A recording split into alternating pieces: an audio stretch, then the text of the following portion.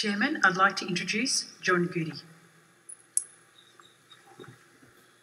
Good afternoon, Chairman, uh, Board of Directors. John Guidi is my name. I'm from Glasgow, in Scotland. I'll make this as brief as I can. Um, for 12 odd years, I was a customer of National Australia Bank uh, through the Clydesdale Bank in Scotland. Unfortunately, uh, the National Australia Bank decided in 2012 to withdraw and implemented a policy, a strategy uh, to uh, divest itself of its uh, British operation. I understood that. Uh, what I didn't understand at the time that it would make me uh, completely bankrupt. It would mean the complete loss of all the wealth I'd built up over my years and leave me in the state that I find myself at the moment. For the past uh, 12 months, I've been conducting a protest in Glasgow, which I went on hunger strike for 15 days, lived in a tent for 51 days. I tell you all this because I think it's very important that people here today and this board of directors truly understand, which I'm sure they do, the real impact that uh, the work of uh, banks at their board of directors and their senior management have on the very lives of people. And my only comment when I get to a second to the question I'm going to ask the board is that as you try to solve the problem, which is NAB, Mr McEwan, I would suggest that you look very, very closely, and I'm sure you will because you are a very experienced and knowledgeable man, that you look at the past. And I mean the past, the mistakes. How can you rectify that going forward, both in a legacy point of view, but from a business point of view? You're absolutely right. Your business is only as good as your employees, and it's only as good as the customers that you have and that you create. The two of them are inseparable, and the two of them will make money for each other and this company going forward.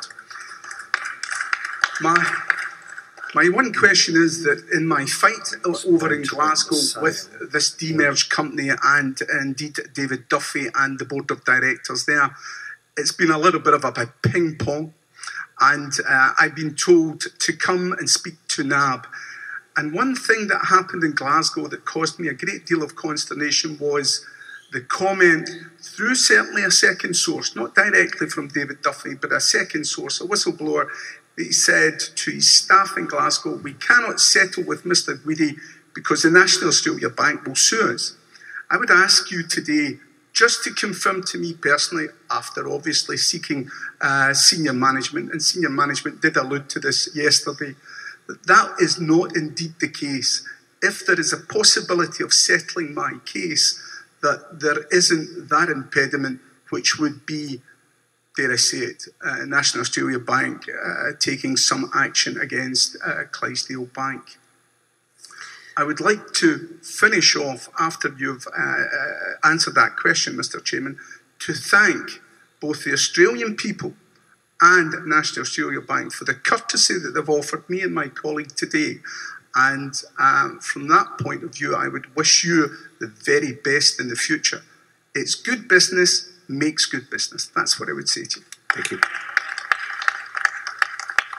Thank you. I might, um, as much for the benefit of um, other shareholders today, just explain why there is so much complexity um, in trying to resolve this issue. When National Australia Bank um, separated from the Clydesdale and Yorkshire banks in the UK, uh, and I'll be careful here because this was before I joined the National Australia Bank board. Um, my understanding is that the separation uh, was such that uh, Clydesdale and Yorkshire would manage all the ongoing issues that they had, and that uh, NAB provided an amount, of an indemnity amount, of I think it was 1.7 billion pounds, something of that order of magnitude, um, to support that.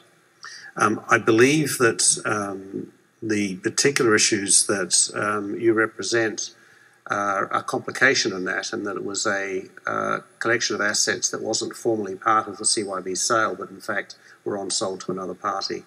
And um, so that is, if anyone is interested, is why um, there is some problem in coming to terms with whose issues these are to be dealt with.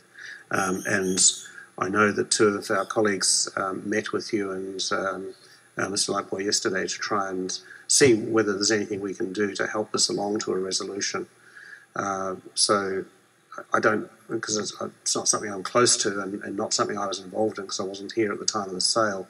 Um, but I do understand that there is an honest attempt to try and broker something to uh, to find a home for this issue. So thank you for your contribution. Thank you.